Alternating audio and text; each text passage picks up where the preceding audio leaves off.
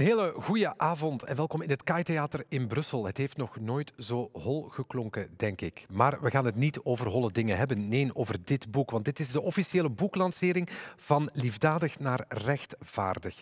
Els Hertogen, dat is de naam die erop staat. Elf stemmen over de toekomst van internationale solidariteit. En daar gaan we het het komende anderhalf uur over hebben. Over welke vragen? Ik neem er de achterflap gewoon even bij. Hoe pak je ongelijkheid aan? Wat betekent internationale solidariteit? En hoe biedt ze antwoorden op globale uitdagingen. Het zijn een beetje containervragen, maar we gaan straks in de diepte. En uh, die diepte zit ook absoluut in dit boek. Het komende anderhalf uur gaan we in debat. En met we bedoel ik Nadia Ansai, curator beeldvorming van het MAS, Valerie Delrey, directeur van Greenpeace, Koen van Mechelen, beeldend kunstenaar en Amir Bashrouri, de voorzitter van de Vlaamse Jeugdraad. We gaan praten over decolonisering. Hoeveel stappen kunnen we daar nog zetten en moet er niet dringend wat meer gaan gebeuren? Hoe verhouden mens en natuur zich tot elkaar en hoe wij het verschil kunnen maken van heel klein naar heel groot. Wij zelf, maar ook hele grote internationale organisaties. Af en toe krijgen we ook het bezoek van de beste slam poet van het westelijk halfrond, zeg maar de planeet, Lisette Manesa. Zij is er ook. Anderhalf uur van debat. We hopen u te inspireren op basis van dit boek. En we beginnen de avond met de nieuwe directeur van 1111, Els Hertogen. Welkom allemaal. Um, Welkom om in te schakelen op deze boeklancering. Ik ben uiteraard een heel klein beetje nerveus, maar ik ben vooral ongelooflijk dankbaar dat jullie ervoor kiezen om het volgende anderhalf uur, zij het virtueel, met mij door te brengen, maar vooral met heel veel interessante sprekers die na mij zullen volgen. Om het te hebben over een vraagstuk dat mij persoonlijk passioneert. Hoe vullen we internationale solidariteit het beste in? En het komende kwartier ik jullie meenemen in twee vragen. Eén is, waarom is het boek persoonlijk voor mij zo belangrijk? En de tweede vraag is, hoe vul ik internationale solidariteit dan in? En om jullie mee te nemen in die eerste vraag, ga ik naar het begin. Het is een verhaal dat ik al verteld heb um, twee jaar geleden bij de lancering van een naarscampagne. Verhaal van mijn grootvader, maar ik heb toen de foto niet getoond. En dat doe ik nu wel. Jullie kunnen hem hier zien. Dit is Robert Hertogen, mijn grootvader, ingebed in de christelijke arbeidersbeweging, een aanhanger van kardinaal Kardijn. En wat was het adagium van Kardijn? Dat was zien, oordelen en handelen. Als je onrecht ziet, dan handel je, punt. Daar is geen discussie over. Deze foto staat dus voor mij symbool voor mijn persoonlijk engagement, want ik ben in deze echt wel het kind van mijn familie. Maar de foto staat voor mij vooral symbool voor het feit dat sociale strijd ertoe doet. Zonder de arbeidsbeweging hadden we nu geen recht op verlof, vakantie, geen stakingsgerecht, geen recht op vereniging. Zonder de vrouwenbeweging hadden we nu niet quasi overal wereldwijd vrouwenstemrecht. En elke sociale strijd die start met het zien van ongelijkheid, het beoordelen ervan als onrecht, maar vooral ook het durven handelen daarnaar. En daarvoor staat deze foto symbool voor mij. Nu, het is zo dat we al heel veel verworvenheden hebben, maar er zijn ook heel veel uitdagingen. En daar neem ik jullie graag eventjes mee aan de hand van deze cijfers.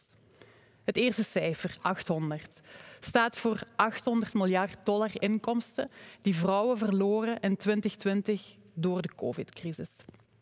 Vrouwen zijn veel vaker slachtoffer van crisissen dan mannen. Dan het is heel duidelijk dat de Black Lives Matter-beweging broodnodig is. Mannen met een zwarte huidskleur hebben in de Verenigde Staten dubbel zoveel kans om te sterven tijdens een politieinterventie dan mannen met een andere huidskleur. Racisme is niet relatief. Racisme is reëel en institutioneel ingebed, niet enkel in de Verenigde Staten, maar ook hier. Door de covid-pandemie zouden we bijna vergeten dat er een andere crisis is die ons allemaal uitdaagt, de klimaatcrisis. En terwijl we wel weten dat fossiele brandstoffen de grootste oorzaak zijn van die klimaatcrisis, besteden we jaarlijks 444 miljard dollar aan subsidies aan bedrijven die fossiele brandstoffen ontgingen. 130. Zoveel mensen verdronken op 20 april in de Middellandse Zee. Uren nadat ze hun eerste noodkreet hadden uitgezonden. Een NGO-schip reageerde, maar moest er uren over doen om daar te geraken en kwam te laat aan. We zeggen wel dat iedereen het recht heeft om asiel aan te vragen, maar we zorgen er niet voor dat mensen dat op een veilige manier kunnen doen. 219. Zoveel Palestijnen vonden de dood in Gaza de afgelopen tien dagen. 67 kinderen, 12 Israëli's lieten het leven omwille van de aanvallen. Deze cijfers zijn dramatisch, maar het echte onrecht zit ook onder deze cijfers. De decennia lange bezetting van Palestina door Israël. Een apartheidsregime dat ervoor zorgt dat dagelijks mensenrechten van Palestijnen geschonden worden. 83. 83 procent van de vaccins die vandaag beschikbaar zijn, gaan naar midden- en hoge inkomenslanden. De lage inkomenslanden vallen grotendeels uit de boot.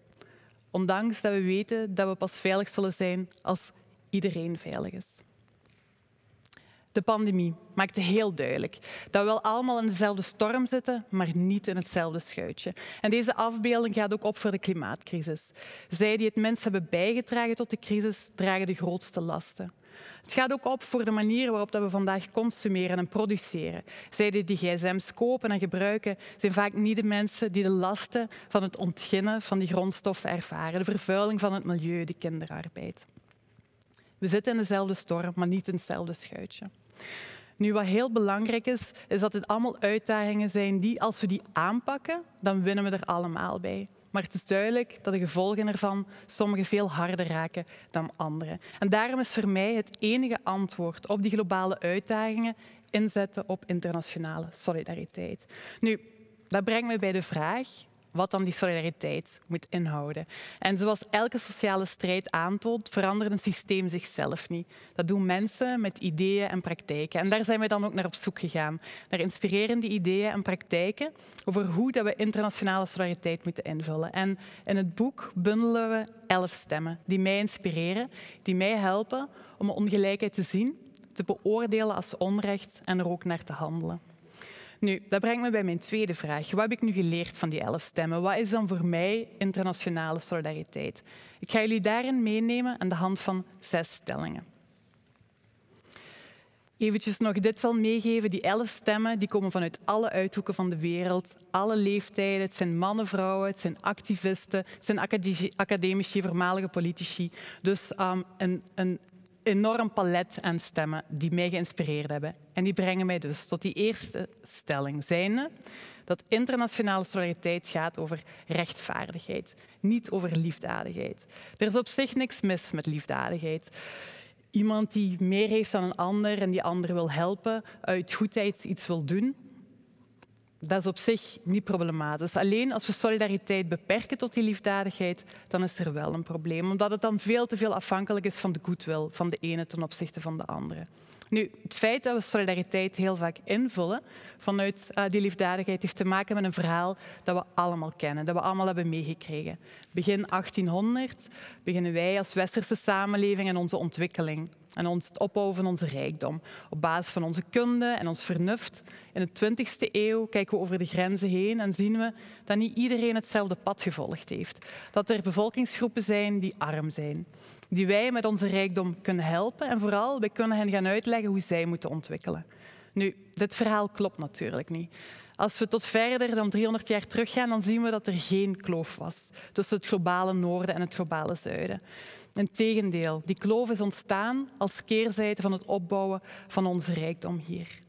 Nu, dat betekent als we het onrecht dat we vandaag zien willen aanpakken, dat we die geschiedenis moeten erkennen. En dat we ook moeten erkennen dat die kolonisatie vandaag ook nog doorloopt. Politiek, economisch, cultureel, intellectueel. Dat moeten we onder andere doen door het racisme staalhard te veroordelen en daartegen te strijden maar moeten we ook doen door ontwikkelingssamenwerking anders in te vullen. We moeten niet stoppen met ontwikkelingssamenwerking. We moeten zoveel mogelijk middelen geven als dat we kunnen, maar we moeten het wel anders durven aanpakken. Nog veel meer vertrekken vanuit lokale context, veel meer vanuit evenwaardig partnerschap en vanuit samenwerking, maar vooral ook het de plaats geven die het verdient. En dat is een krachtige, belangrijke hefboom zijn voor verandering, maar wel een kleine hefboom in vergelijking met alle beleidsbeslissingen die we moeten nemen. Ik geef een voorbeeld. Als we willen dat iedereen toegang heeft tot vaccins vandaag, dan is het een goede beslissing om te zeggen we gaan overschotten die we hier hebben overbrengen naar lage inkomenslanden. Maar het is een veel betere, een veel structurele beslissing om de patentrechten op vaccins tijdelijk op te heffen. En er zo mee voor te zorgen dat we de productie kunnen opschalen en ervoor kunnen zorgen dat er overal vaccins geproduceerd kunnen worden. Dat brengt me bij mijn tweede stelling. Internationale solidariteit gaat over herverdeling van middelen. Onder andere via ontwikkelingssamenwerking, maar vaak vernauwen we die herverdeling daartoe. Zeggen we, oké, we geven al zoveel hulp van het globale noorden naar het globale zuiden. Ga, we vinken het, het, hokje aan en we zeggen internationale solidariteit, daar hebben we toe bijgedragen. En dat is vanuit het idee dat we denken dat we vanuit het globale noorden veel meer geven aan het globale zuiden dan terugkomt. En het tegendeel is waar. Voor elke dollar die we vanuit het globale noorden naar het globale zuiden brengen met ontwikkelingssamenwerking, komt er 24 dollar terug. Door belastingontwijking, door onbetaalde arbeid, door het niet eerlijk betalen van de grondstoffen die daar ontgonnen worden. En dit is hetgeen dat we moeten omkeren. Willen we echt werk maken van herverdeling van middelen, moeten we inzetten op een rechtvaardig economisch systeem. Door in te zetten op eerlijke handel, eerlijke betaling uh, van arbeid en eerlijke fiscaliteit. Maar het gaat niet enkel over herverdeling van middelen. Het gaat ook over herverdeling van macht. Kijken wiens stem vandaag onvoldoende gehoord wordt. Wie niet kan wegen op het beleid, terwijl ze wel onrecht ervaren, dag in, dag uit. We kunnen daar heel veel over praten, maar ik ga twee zaken highlighten. Eén is uh, de machtsonevenwicht in internationale instellingen. Persoonlijk geloof ik ongelooflijk hard in het belang van die instellingen. Ik zal nooit pleiten voor de afschaffing ervan, maar moeten ze wel democratischer maken. Neem de Wereldhandelsorganisatie. Daar wordt je macht eigenlijk bepaald op basis van de grootte van je markt. Als we nu weten hoe we die macht hebben opgebouwd in het verleden, kunnen we ons daar grote vragen uh, bij stellen. Maar wat heel interessant is, is bijvoorbeeld het initiatief van Zuid-Afrika en India, zeven maanden geleden waarbij ze een voorstel hebben gedaan om de patentrechten op vaccins tijdelijk op te heffen. Dat heeft doorheen die maanden een enorme coalition of the willing achter zich gekregen, zelfs de Verenigde Staten. Europa volgt nog niet. We gaan moeten zien hoe die kaarten nog vallen. Maar het feit dat deze dynamieken plaatsvinden, geeft mij hoop dat een kentering wel mogelijk is. Een tweede dat ik hier wil highlighten, is het feit dat multinationals een ongezond grote macht hebben, ook bijvoorbeeld in het kader van deze COVID-pandemie. Het feit dat de farma-industrie ervoor kan zorgen dat we niet de kaart kunnen trekken in het algemeen belang, moet uitgedaagd worden. We hebben nood aan sterke overheden op alle niveaus die um, regelgeving kunnen opstellen, waardoor we echt wel richting de algemeen belang kunnen gaan. En was daar ook voor nodig? Een heel krachtig internationaal samenwerkend middenveld dat op zoek gaat naar welke stemmen een microfoon moeten krijgen. Dit doet over de grenzen heen toont dat we verbonden zijn. Zoals nu ook gebeurt rond de Palestijnse kwestie. Jongeren die hier op straat komen, online filmpjes die gedeeld worden. Ook al zien we niet onmiddellijk de impact, we moeten dit blijven doen. Wanneer mensenrechten geschonden worden, moeten we ons uitspreken. Dat brengt me bij mijn vierde stelling. Internationale solidariteit gaat over mens en natuur. Het feit dat ik pleit voor mensenrechten, ja, dat zal jullie niet verrassen. Maar in het boek wordt er ook gesproken over rechten van de natuur. En dat is wel een echte gamechanger. Nu, het is zo dat we de laatste decennia dat normaal is dat we een beleid voeren rond natuurbehoud. De klimaatcrisis staat op de agenda. Maar we beschouwen natuur nog veel te veel als een middel voor economische groei. We praten wel over hoe kunnen vervuiling verminderen, terwijl eigenlijk de fundamentele vraag is hoe kunnen vervuiling en vernietiging van natuur voorkomen. Dat heeft ook deze COVID-pandemie getoond. Het grootste antivirus is bosbehoud. Als we ervoor zorgen dat dieren in hun eigen habitat kunnen blijven, dan komen de virussen niet tot bij de mens. En de natuur centraal zetten in beleid betekent helemaal niet dat we terug primitief moeten gaan leven. Als we weten dat we dagelijks een derde van de voedseloverschotten weggooien, dan weten we dat er veel ruimte is om een andere manier ons leven in te richten. Dat brengt me bij mijn vijfde stelling. Internationale solidariteit gaat over gedeelde verantwoordelijkheid. Zowel overheden, lokaal, nationaal, internationaal, bedrijven, kleine, middelgrote, grote, burgers hebben een grote rol te spelen. Een van de stemmen in het boek heeft een bevraging gedaan in 25 landen. Hij is gaan vragen welke mate van ongelijkheid de burgers eigenlijk aanvaardbaar vonden. En er komt uit dat ongelijkheid mag, maar dat een factor 10 aanvaardbaar is. Dat wil zeggen dat iemand tot tien keer meer mag bezitten als een ander. In de Verenigde Staten is die factor vandaag 360.000. Dat betekent dat als we burgers over dergelijke fundamentele vraagstellingen bevragen, dat we tot een meer rechtvaardige samenleving gaan komen. En natuurlijk is er een krachtig middenveld nodig dat debat aangaat over internationale solidariteit en ook in de praktijk brengt. Dat brengt me tot mijn laatste stelling. Er gebeurt vandaag al ongelooflijk veel. Er is ongelooflijk veel dat hoop geeft. En ik ga terug naar de eerste foto die ik getoond heb. Ik weet niet of jullie het kunnen zien, maar mijn grootvader die blaast bellen in de lucht. En voor mij is dat symbool dat sociale strijd gepaard kan en moet gaan met dromen, met idealen durven nastreven. Want hoop is voor mij helemaal niets naïefs. Het gaat over actief op zoek gaan naar hefbomen voor verandering. En die zijn er vandaag. Die staan in dit boek. Dus ik hoop van harte dat de elf stemmen in het boek jullie inspireren, ook jullie helpen om ongelijkheid te zien, te beoordelen als onrecht en er naar te handelen en ook hoopvol te zijn. Want elk engagement, klein of groot, doet ertoe. Heel erg bedankt en ik wens jullie nog een fantastisch interessante avond. Dankjewel, Els Hertogen. Wij moeten op anderhalve meter. Ja. ja, dit is veel meer, maar in beeld ziet dat er anderhalve meter uit. Dus we willen ook niemand uh, laten denken dat wij de regels overtreden, want dat doen we natuurlijk niet. Dankjewel. We zien jou op het einde van de avond. Ja, absoluut. Nog eens terug, want dan gaan we ook praten met minister van Ontwikkelingssamenwerking. Dat is uh, Miriam Kitier, die intussen ook is aangekomen van vooruit. Zij uh, samen met jou gaan de avond afsluiten. En dan kunnen wij, voor we in het eerste debat duiken, kijken naar de beste slam poet van de wereld. Hè, Absoluut, ja, ja, zonder twijfel. Hier is Lisette Manesa. Hallo, um, ik ben Lisette Manesa. Ik zal beginnen met een, uh, een antwoord op, op Els eigenlijk. Um, een gedicht dat ik nu net heb geschreven en het heet Vanavond. In het begin was er een beeld. En het beeld was mijn grootvader. En mijn grootvader was hoop. In het begin was er een hoop, een, een boom. En de boom was mijn stamboom. In het begin waren er cijfers. 800 cijfers.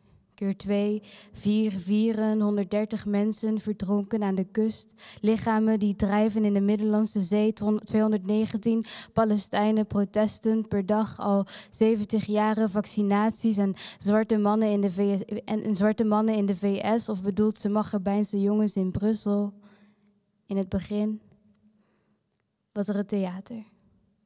Was er publiek. Maar vanavond is Els.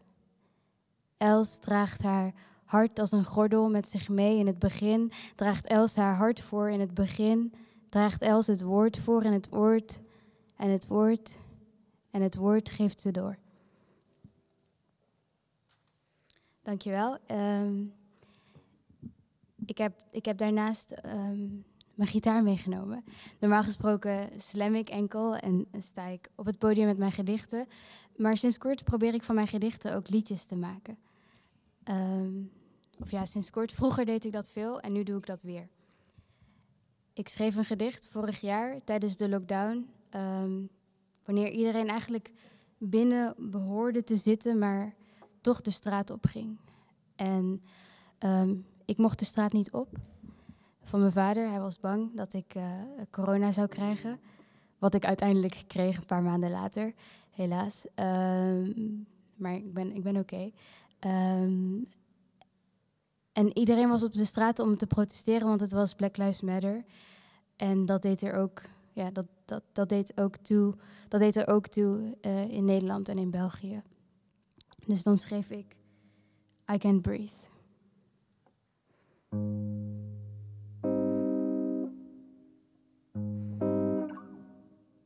Met mijn eerste gitaarakkoordjes.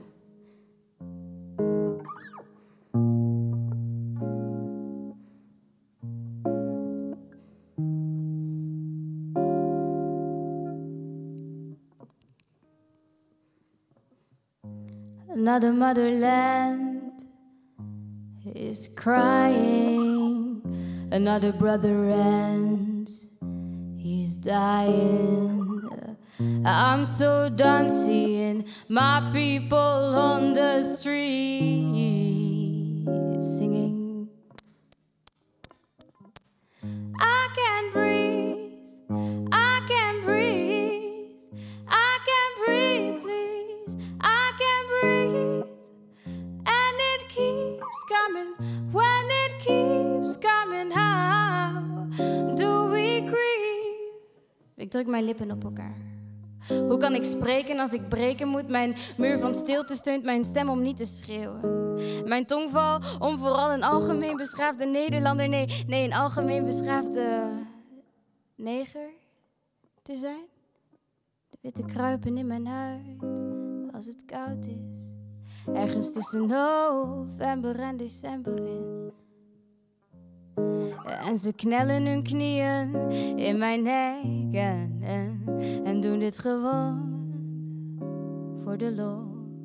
Doe mee met de hype, de hypnose, de rondslingerende zwarte vierkantjes menen er iets van of menen er niets van. Doen alles voor de algoritmes, de algoritmes, de algoritmes bepalen van wie ik het meeste ben. Wie mijn meester is, naar wiens baarmoeder moet ik schreeuwen. Als ik in ademnood ben, naar wiens baarmoeder mag ik schreeuwen. Als ik in ademnood ben en zelfs de, zelfs de karenen protesteren op het plein met bongo's en conga's alsof het kinderfeestjes zijn. Dat zwarte levens ertoe doen, dat zwarte levens er toedoen, dat zwarte levens er toedoen.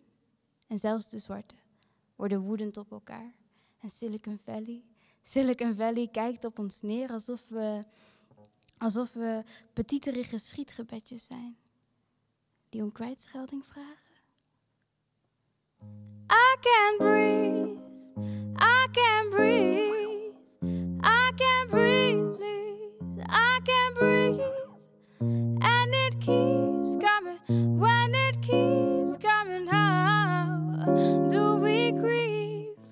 I, I, I can breathe, please. I, I can breathe, officer, officer. I, I can breathe. And it keeps coming, and it keeps coming. Tell me how. How do we grieve?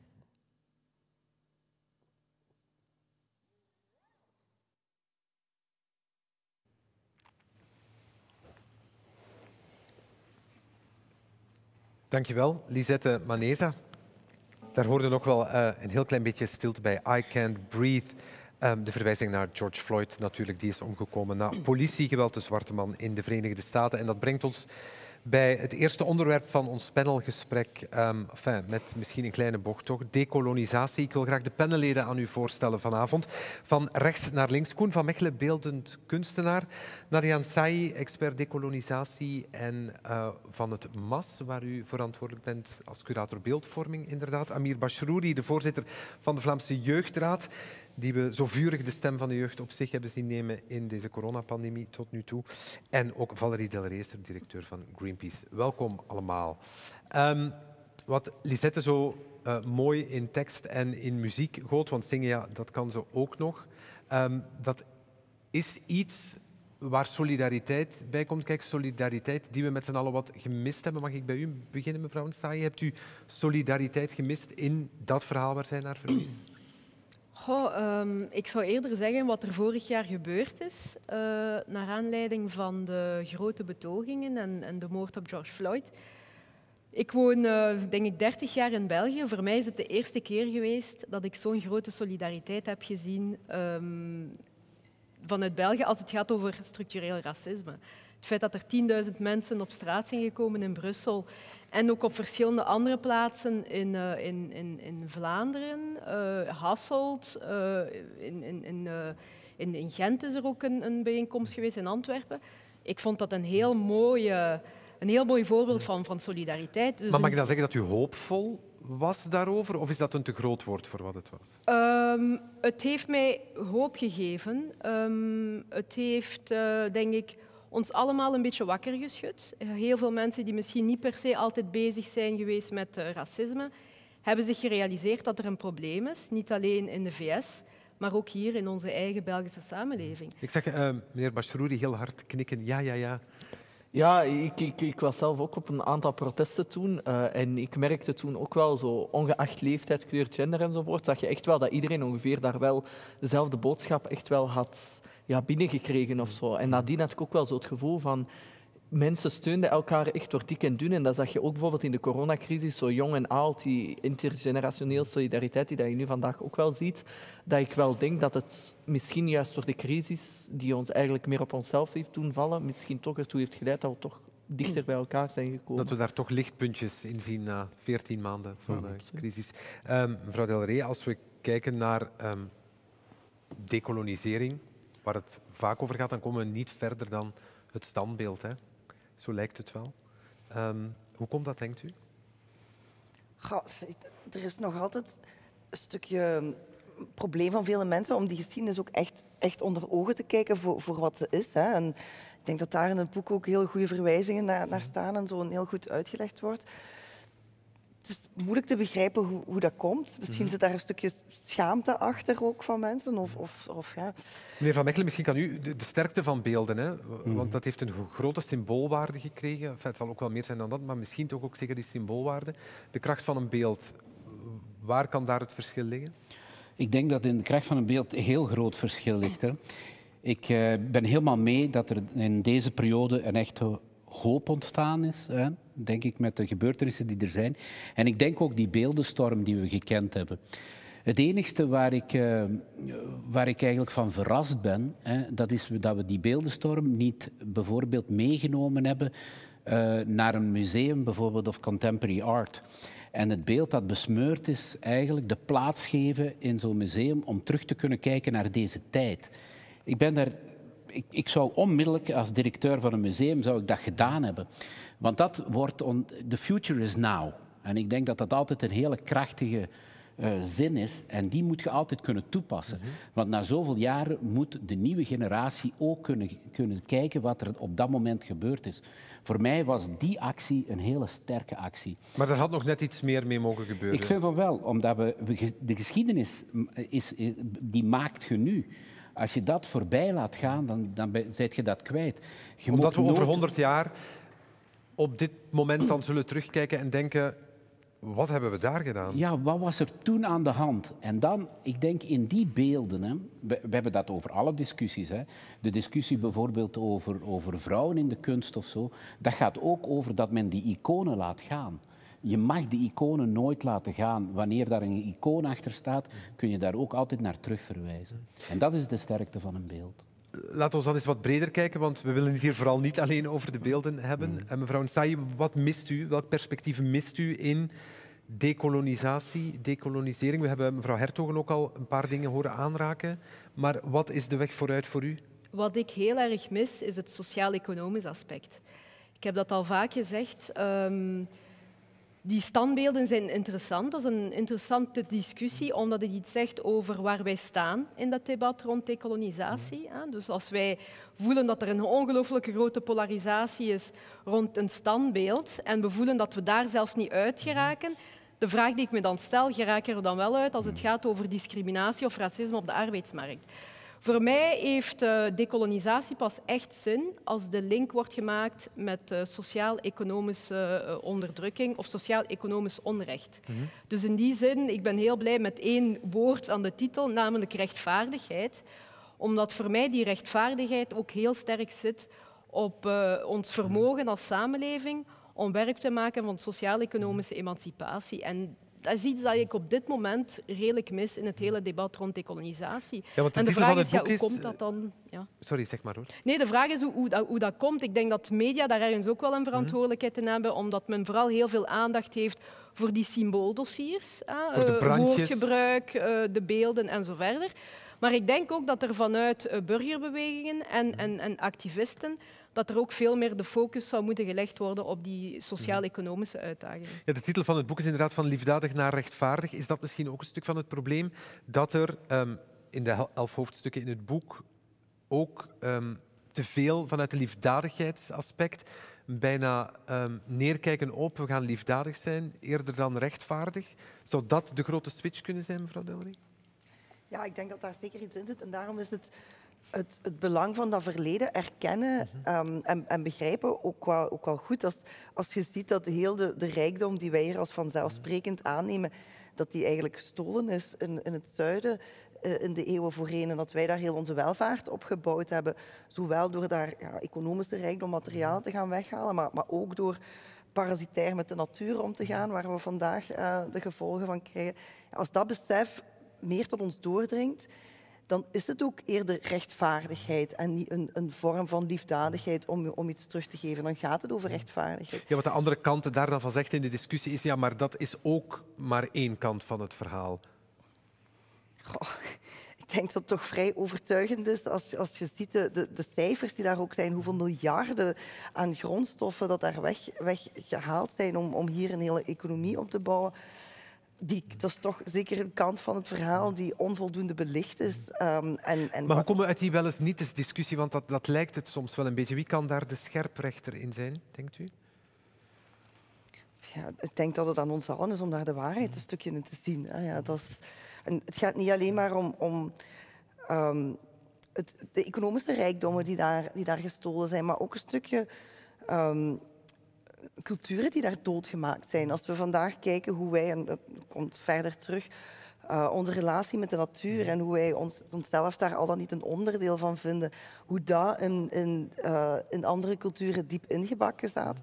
zat wat wij helemaal uh, vanuit onze westerse imperialistische drang kapot gemaakt hebben, waar we vandaag wel, wel een stukje verder mee zouden staan. Uh, eigenlijk zijn we dat vandaag opnieuw aan het leren, hoe we terug in harmonie met natuur en zo moeten omgaan. Ja, daar gaan we het zo meteen over hebben, over natuur en mensen. En dan zitten we echt op uw werkgebied, maar dat is voor het volgende panelgesprek.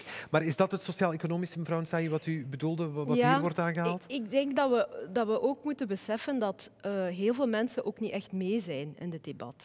Dat is een zeer groot probleem. Wij kunnen vandaag overtuigd zijn dat we moeten gaan decoloniseren. Maar ja, heel veel mensen stellen me de vraag, ja, wat is dat dan, gaan decoloniseren? Moeten we vandaag, 60 jaar na de politieke onafhankelijkheid van Afrikaanse landen, gaan spreken over decolonisatie? We moeten een hele grote groep van mensen gaan uitleggen, gaan bewustmaken waarom bijvoorbeeld de strijd rond rechtvaardigheid, waarom dat, dat een belangrijke strijd is.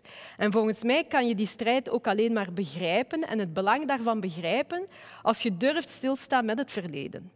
En namelijk mensen uit te leggen dat in het verleden dat er onrecht heeft plaatsgevonden. Onrecht dat tot vandaag nog altijd een impact heeft op het leven van mensen.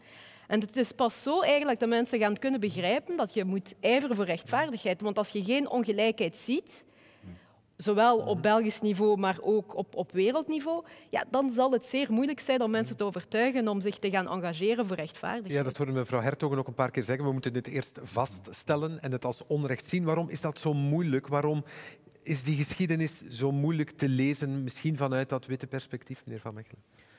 Ik denk, uh, ik denk dat we nu op dit moment zelf ook in de val zitten. Hè.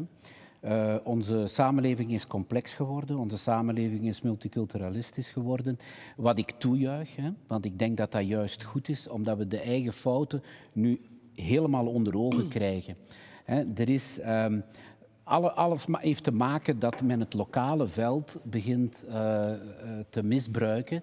Hè. We zitten vast in onze eigen monoculturen, hè, waarin dat we denken dat dat de vooruitgang is. En nu ontdekken we dat het eigenlijk niet zo is. En we plukken eigenlijk al die grote bronnen, hè, die plukken we helemaal leeg. En we doen dat eigenlijk bij ons eigen volk ook.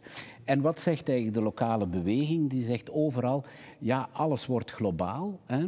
En, en, en nu moeten wij daar ook nog voor betalen, om het in eenvoudige termen te gaan zeggen.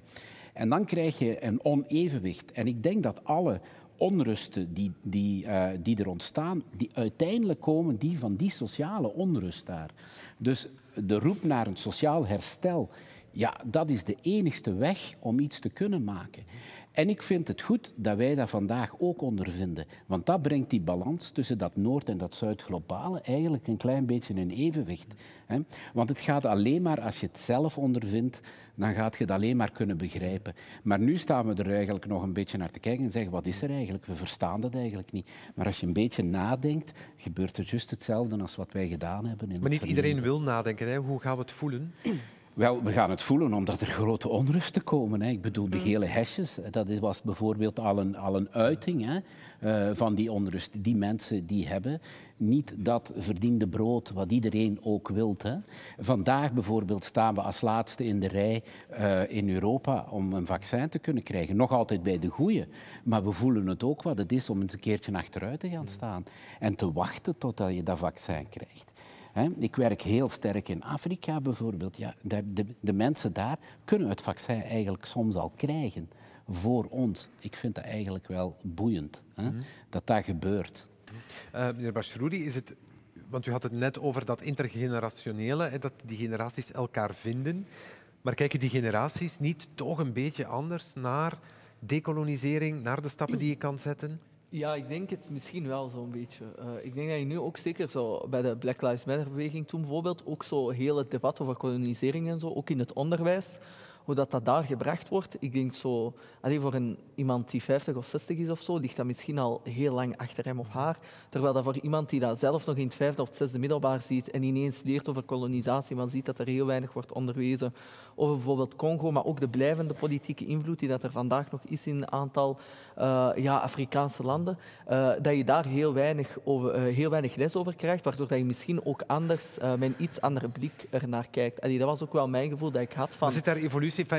U bent heel jong, hè? dus mm -hmm. ik, vraag u iets ja, mogelijk om te wel, vergelijken. Maar... Ik moet wel zeggen dat allee, als ik zo bijvoorbeeld zelf keek... Um, zo alles, allee, alle wantoestanden die dat er bijvoorbeeld in Congo enzovoort zijn gebeurd, het is uiteindelijk wel mede dankzij heel die beweging uh, en ook alle discussies die nadien zijn ontstaan, dat ik er veel meer over heb weten ja, bij te leren eigenlijk. Terwijl dat toen ik in het middelbaar zelf zat, leer je eigenlijk alles van... Het is begonnen in de industriële revolutie, net zoals in het boek eigenlijk een beetje wordt verteld. Mhm. Daar is iedereen naar de steden verhuisd, het patronaat heeft daar op zakken geld gezeten enzovoort. Maar wordt niet echt gedacht vanuit het imperialisme dat er eigenlijk 300 jaar ervoor ook al bestond. En dat miste ik wel heel hard eigenlijk. Maar dat je dus nu, of dat u nu een paar jaar verder die inzichten wel hebt, zegt iets over het onderwijs? Uh, ik denk dat of zegt iets over uw eigen nieuwsgierigheid? Misschien? Ja, ik denk ook dat de beweging daarmee te maken heeft. Want uiteindelijk is er daartoe uh, ook heel wat debat gekomen. Is dat ook heel vaak uitgelegd geweest in de media. Maar zijn er ook uh, heel veel activisten die zich daarover hebben uitgesproken. Heb je ook bijvoorbeeld een beweging als BIAR gehad, Belgian Youth Against Racism, die daar ook echt jongeren hebben geprobeerd om te empoweren, om daarover uit te komen. Dus dat heb ik wel gehad. Maar ik denk wel dat er in het onderwijs nog veel te weinig op wordt gefocust. Mm -hmm. Dekoloniseer... Um Ontwikkelingssamenwerking is ook een van de hoofdstukken in het boek. Hè? Wat in dat decoloniseren van ontwikkelingssamenwerking, mevrouw Nsai, zou een van de sleutels uh, voor de toekomst kunnen zijn, volgens u? Goh, ik, uh, ik, ik, heb zelf ongeveer negen jaar gewerkt uh, voor, een, voor een Belgische NGO. Dus het is een, een, een thema dat mij sowieso uh, heel erg ook boeit omdat ik denk dat uh, solidair zijn is iets menselijk. Hè? Dus wij, wij, wij, zijn als mensen ook sociale wezens en, en, we willen dan ook soms iets kunnen doen voor, voor de medemens. Uh, dus op zich, ik behoor niet tot de groep van mensen die zeggen schaf het af. Hè? Want dat is ook een bepaalde mhm. beweging van mensen die dat zeggen. Zowel hier in het noorden, maar ook in het globale zuiden. Mensen die zeer kritisch worden over ontwikkelingssamenwerking en die echt zoiets hebben van schaf het gewoon af.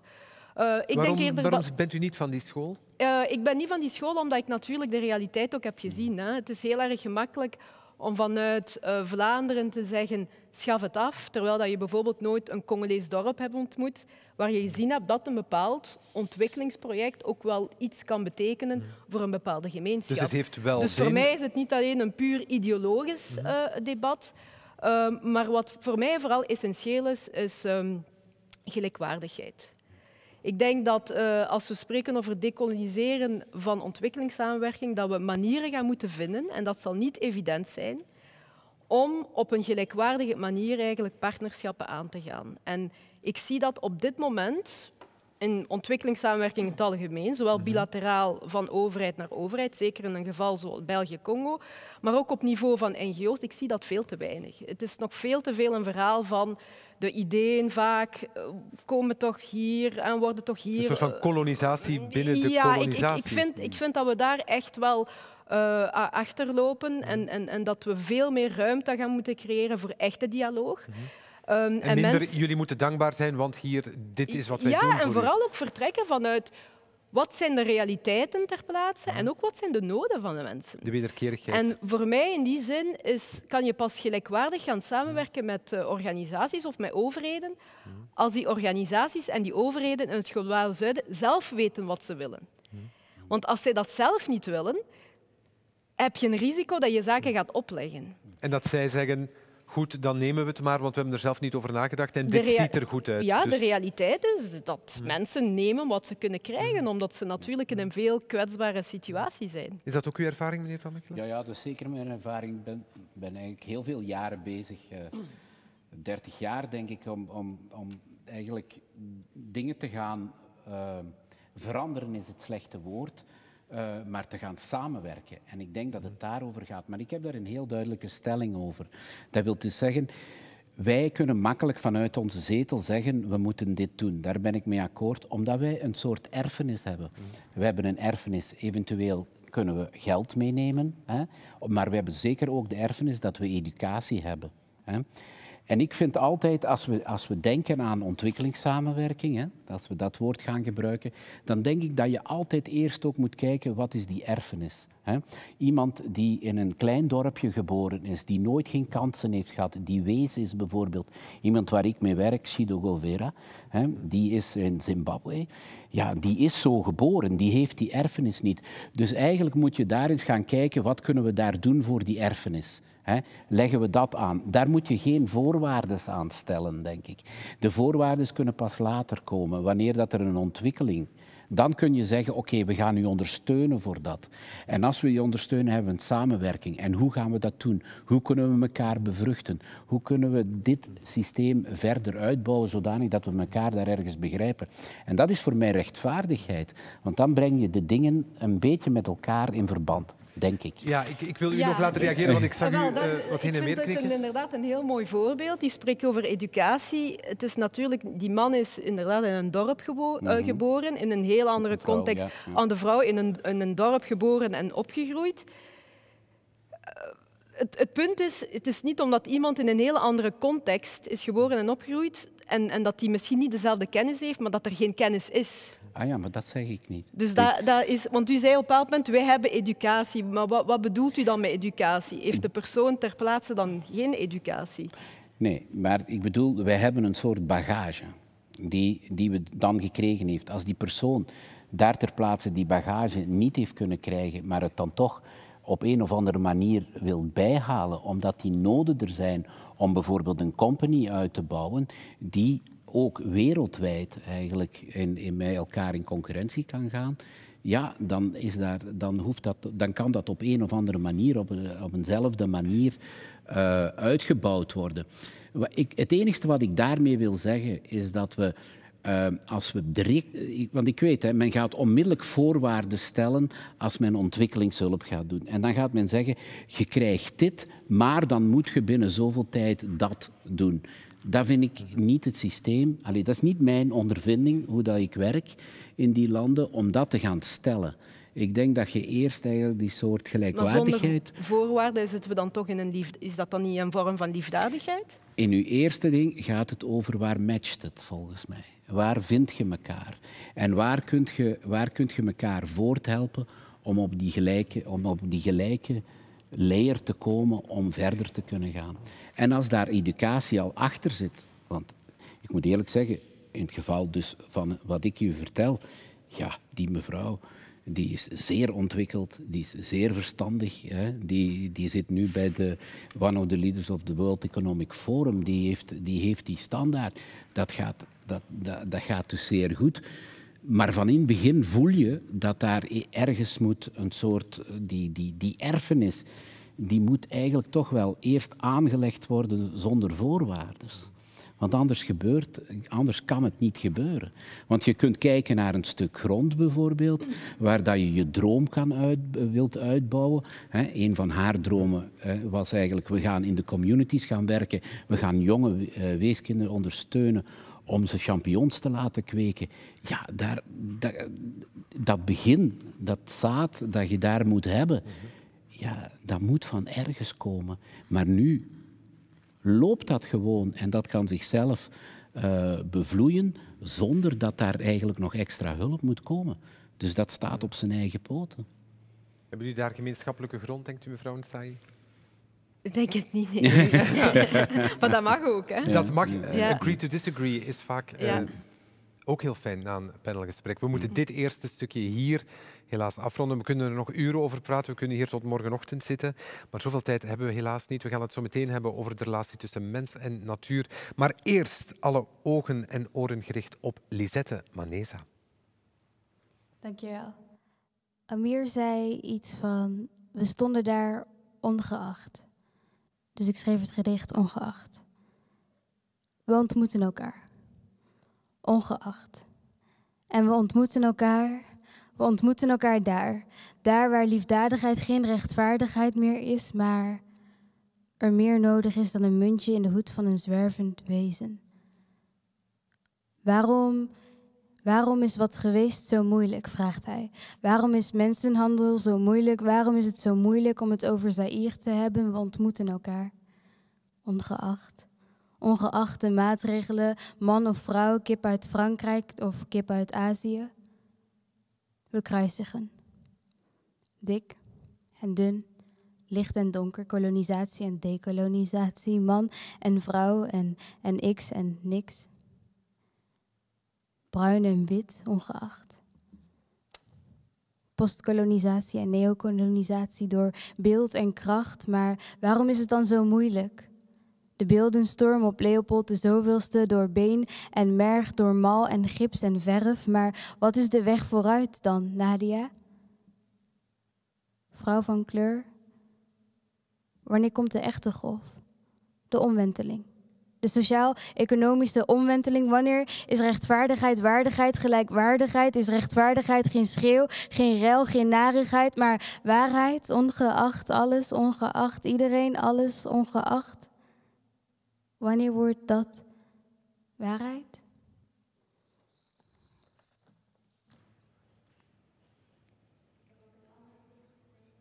Ik heb een ander gedicht geschreven. Uh, dat gaat over ecofeminisme. Een van de uh, thema's en onderwerpen in het boek. De mens onderdrukt de vrouw. Maar niet enkel de vrouw, maar de moeders. Niet enkel de meisjes, maar de moeders. Niet enkel de moeders, maar moeder natuur. De mens onderdrukt de natuur. Dus laten we het hebben over de kracht van de vrouw.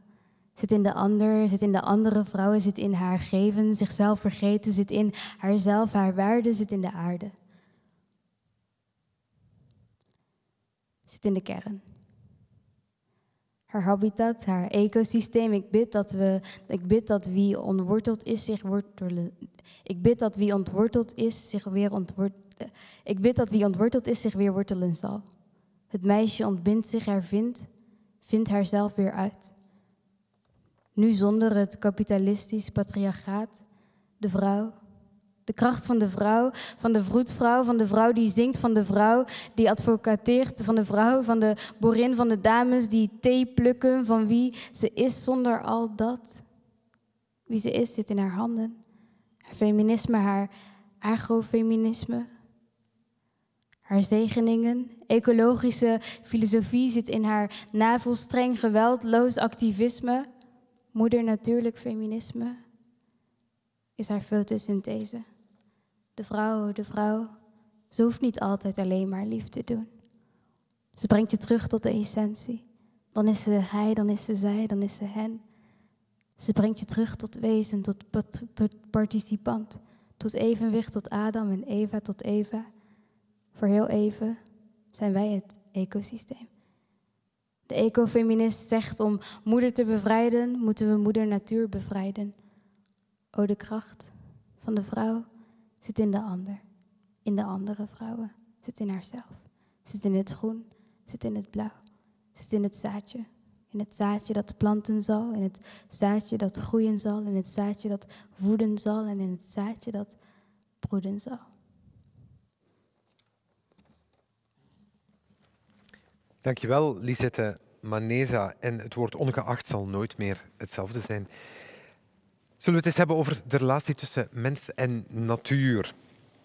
Um, hoe ze tegenover elkaar staan, hoe ze misschien wat beter met elkaar kunnen samenwerken en of er daar ook niet wat meer gelijkwaardigheid moet zijn. Eh, een woord dat we al een paar keer hebben aangehaald. Um, als ik bij u mag beginnen, mevrouw Delrey, dan komen we echt in het hart van wat u doet als directeur van Greenpeace. Um, is die relatie tussen mens en natuur te verstoord? Ja, ik denk het wel. Hè. Ik denk als, als mens zijn wij een, een onderdeel van de natuur. En in, in, in dat debat vind je tegenwoordig um, een polarisatie waar je aan de ene kant mensen hebt die um, de technologie en wetenschap als een soort religie zien die, die ons gaat redden van alles wat er op ons afkomt, hè, van klimaatverandering enzovoort. Uh, en aan de andere kant dan, uh, de, het andere stereotype is een beetje geitenwolle sokken mhm. die graag terug in een hut in het bos willen gaan wonen in harmonie met de natuur. Maar daartussen zit heel veel. Daartussen zit heel veel, gelukkig. En ik denk dat daartussen ook de antwoorden een stukje mhm. zitten. Um, ik denk dat technologie zeker een, een, uh, een, onderdeel kan zijn van de oplossingen, maar dat we moeten streven naar een harmonieus samen zijn met de natuur. En dat daar technologie inderdaad een, een, een, rol in kan spelen. Maar dat we een stukje nederigheid en respect ook terug moeten hebben voor moeder natuur, uh, waar, we het, waar we het over hadden. Omdat, allee, we hebben de kracht gezien, hè, een, een, een mini... Uh, een microscopisch virus heeft ons, uh, onze hele wereldeconomie, onze hele samenleving platgelegd. Mm Dus daar zit heel veel kracht in. En ik denk dat ook de, de kennis daaruit wat ook teruggaat naar, naar de manier van ontwikkelingssamenwerking doen en zo, als we daar rond natuur bezig zijn. Er zit heel veel kennis bij inheemse bevolking, bijvoorbeeld, over, over natuur, hoeveel over in harmonie daarmee samenleven, over de leefwijze. Hoe je soms ergens aankomt met het perspectief dat je hebt eigenlijk heel verkeerd kan, zou kunnen aflopen. Ja, en, en daar is het, ik denk het, het gevoelsmatig of het, het met respect uh, ja, ook aan ontwikkelingssamenwerking doen, is van daaruit vertrekken. Hè. Waar, waar, is die context? Wat hebben mensen nodig? Wat, wat, wat weten mensen hier allemaal en hoe kunnen we dat een stem geven en hoe kunnen we dat versterken? Maar de natuur heeft geen stem natuurlijk. Hè? Ja, dat is, dat is wat onder meer organisaties zoals Greenpeace proberen te mhm. doen. En, en ehm, gelukkig zijn er meer en meer mensen die het wel opnemen uh, daarvoor. Hè. We hebben het laatste jaar uh, heel de, de klimaatjongeren mhm. gezien, wat een ongelooflijk grote impact gehad heeft. Uh, op, op die bewustwording in de samenleving dat, dat er een klimaatcrisis aan de gang is en dat daar dringend op geageerd moet worden. U had het net over die uitersten. Hè. Ik denk dat veel is relatief, maar een aantal mensen misschien vinden dat Greenpeace ook in die geitenwolle sokkenhoek zit, waar het antwoord niet te vinden is. Maakt u dat kwaad? Uh, ja, dat is een stereotype natuurlijk, hè, wat, mhm. wat, helemaal niet waar is. Want ja, uh, ik denk dat uh, een organisatie like Greenpeace uh, 100% achter hernieuwbare energie staan. Dat is ook technologie. Hè. Het is niet dat wij pleiten om, om, om allemaal samen terug in een hut in het bos te gaan wonen. Zonder... Dus er, zit, er zitten oplossingen in technologische vooruitgaan. Maar het, het kan wel... Maar wil u die perceptie, denkt u, we moeten daar wat aan doen? Of voert, ja, dat, dat krijg je toch niet gedraaid? Dat is een dus beetje van het verleden, eerlijk gezegd. Ik denk dat de realiteit uh, wel, wel aantoont. En ja, natuurlijk, als je een, een sterke standpunten hebt, dan word je ook geprobeerd om sterk in de hoek gezet te worden. Maar, ja, ik denk je bent dat sterk genoeg om uit die hoek Ja, en ik, ik, denk ook dat de laatste jaren... Allee, iedereen heeft wel door dat, dat er een, een, probleem is met klimaatverandering. Dus de mensen die daar nu uh, in de, in de denial-hoek uh, mm zitten, ja, die zijn ondertussen wel een beetje in de minderheid aan het geraken. Dus en meneer Bacheroudi, als we kijken inderdaad naar wat er voorbije twee, drie jaar vanuit die jongeren um, is ontstaan, hebt u dan het gevoel dat die verstoorde relatie tussen mens en natuur dat dat wel goed komt, als we het van jullie laten afhangen? Ik vind dat een beetje moeilijk om te zeggen, want het moet uiteindelijk vandaag al beginnen. Mhm. Dus uh, allee, als die jongeren zijn uiteindelijk wel op straat gekomen, omdat er op het moment zelf eigenlijk quasi niks gebeurde. Mhm. En uh, allee, de meeste waren 18, allee, zaten in het middelbaar nog, dus vijfde, zesde middelbaar. Ja, er zijn nog maar 17, 18, die gaan nog niet zo snel de wereld veranderen. Dus dat Hebt u ook meegedaan? Wat blieft? Hebt u ook meegedaan? Ik ben zelf niet op... Uh, nee, ik ben niet gaan spijbelen toen. Uh, ik was een heel ijverig student. Dus, Als voorzitter van de jeugdraad kunt u zich dat ook niet permitteren. Ah, wel, is, ja, toen was ik het nog niet, toen ik in Udelbaar zat. Maar nee, ik denk, toen was het wel zo ondanks het feit dat je er niet bij was of zo, had ik wel het gevoel dat iedereen er wel heel actief mee bezig was. En daar, het was toen ook een aantal maanden voor de verkiezingen en iedereen had het erover. Mhm. Mensen waren dan ook, eh, allee, dat kweekt natuurlijk ook heel veel weerstand op en zo, maar langs de andere kant zag je ook bij ons op school dan jongeren die zelf nadenken en zeggen van ja, politie, dat kan hun quasi niks schelen. Mhm. Dus laten we zelf iets denken hoe dat we de handen uit de mouw kunnen steken. Laten we zelf denken hoe dat we onze eigen school kunnen vergroenen. Hoe dat we zelf een boom kunnen planten op school. Hoe dat we zelf uitstappen meer met het openbaar vervoer kunnen doen, mhm. bijvoorbeeld. Hoe dat we zelf in plaats van met zilverpapier en uh, met allee, flesjes water naar school te komen, drinkbussen te doen en een hele marketing daarachter te stoppen, die dat je nadien ook, waarmee dan bomen geplant kunnen worden, bijvoorbeeld in Oeganda en zo van die dingen. Mhm. Dus dat was ook wel iets wat ik had van door het feit dat de politiek misschien ja, veel te laat in actie is geschoten en misschien zelfs nog steeds niet echt in actie is geschoten, merkte je wel dat heel veel mensen zoiets hadden van het moet nu komen en dan zullen wij het zelf moeten doen. Ja, mevrouw Daré, als we dan kijken naar um, wat mensen heeft gemotiveerd om te stemmen, dat was een beetje ontnuchterend na die verkiezingen, dan was, die hele klimaatbeweging heeft nauwelijks een rol gespeeld, doorslaggevende rol gespeeld in hoe mensen gaan stemmen. Krijg je dan wel iets voor elkaar? Ja, dat heeft uh, zeker in, in, de jongerenbeweging, als we daarmee praten, um, was dat wel een grote teleurstelling uh, achteraf. Nu, vele maatschappelijke veranderingen hebben ook wel wat tijd nodig. Hè. We hebben dat ook met andere grote maatschappelijke mhm. veranderingen gezien. Het vrouwenstemrecht uh, is niet uh, op 1, 2, 3 gekomen. Dus daar, daar, daar moet een, een, een, dynamiek mhm. achter zitten. Ik denk dat dat ook wel echt in gang mhm. gezet is. Is het een gamechanger geweest wat die jongeren hebben gedaan? Ja, ik ben daar echt wel van overtuigd. Want ook al, hè, ik hoor net relativeren, we zijn jonge mensen, we gaan niet direct de wereld veranderen. Maar die jonge mensen zijn allemaal thuis bij hun ouders aan tafel gaan zitten. En die zijn allemaal in al die woonkamers die discussies gestart. Ik heb die gesprekken ook gehad en ik ben zoveel ouder. Mijn ouders ontkennen ook van alles soms. Ja. dus, dus dat heeft een ongelooflijke wave gehad uh, in, in de samenleving. Dat dat, dat dat ineens het punt werd. Dat dat politiek niet ongelooflijk impact op die verkiezingen heeft gehad. heeft met andere factoren te maken. Ik heb daar interessante studies over gelezen, over hoe ook het, het culturele aspect daar dan de bovenhand haalt, blijkbaar de bovenhand haalt. Um, maar het heeft zeker ook in de lokale verkiezingen, als, als je kijkt naar Brussel en de regionale verkiezingen, ook wel het verschil gemaakt. Dus hoe dichter bij huis, hoe groener we stemmen, zonder daarbij de partij Groen meteen voor ogen te halen, maar hoe groener we stemmen, wat de partijstandpunt is? Ja, zo heeft het in de concrete verkiezingsuitslagen op dit mhm. moment um, wel, uh, wel gewerkt. Nu mm -hmm. ook de federale regering, uh, verkiezing daarna, mm -hmm. is toch ook wel uh, een regering die uh, toch meer klimaatambitie heeft dan we ooit al gezien hebben. Ja, en om over, om over, Europa nog maar niet te spreken, want ja, er is die fameuze Ja, er is die Green Deal, die, die, een tijdje lang uh, mm. zeer uh, vernieuwend was en, en, zeer ambitieus was, tot die nu natuurlijk door de, de inspanningen of door het plan van, van, van Biden in Amerika ineens, ineens heel klein is. Maar is dat ook niet goed? Dat je dan meteen eigenlijk wordt weggezet als... Ja, je doet eigenlijk nog te weinig. Dat, vanuit uw standpunt moet dat toch bijna ja, goed zijn? het is niet goed dat we te weinig doen, natuurlijk. nee. Maar het is inderdaad... Maar dat je wordt uitgedacht door een wereldspeler. Ja, dat, dat, dat, dat is uh, enorm goed. Maar ja, wat natuurlijk... Um, uh, vervelend is om te zeggen, uh, is dat als je de klimaatwetenschap volgt, mm. dan is het allemaal nog te weinig. Mm. He, er, er, is echt, we zitten in een, een, een redelijke enge timeframe mm. om die doelstellingen te halen. Dus er zal nog heel veel moeten gebeuren. Maar we zitten de laatste jaren uh, echt in een versnelling qua maatregelen. En inderdaad, het internationaal opbod uh, is, is fantastisch hè, dat dat gebeurt. En de extra bewustwording bij mensen is zeker ook fantastisch. Uh, meneer Van Mechelen, mag ik zeggen dat u bijna letterlijk en figuurlijk op dat snijpunt zit van mens en natuur? Ja, dat is zo. Ja, absoluut. De ehm, locatie waar u zit, wat u doet. Ja, dus mijn werk gaat daar eigenlijk over. En daarom is het ook altijd heel goed om een als we over, ik ben eerst en vooral ik ben blij dat we over natuur praten. Ik denk als we over natuur praten, dat er meer kansen gaan zijn dat de mens gemotiveerd is om iets te doen. Maar als je het woord klimaat laat vallen, haakt de helft af? Ja, dan van... dat is te abstract. Uh, het, het, wordt warm, het wordt koud. Iedereen is blij als het warm is. Uh, iedereen is kwaad als het regent. Dat zijn zo die gewone parameters. Natuur is iets heel anders. Dat gebeurt met u, voor u.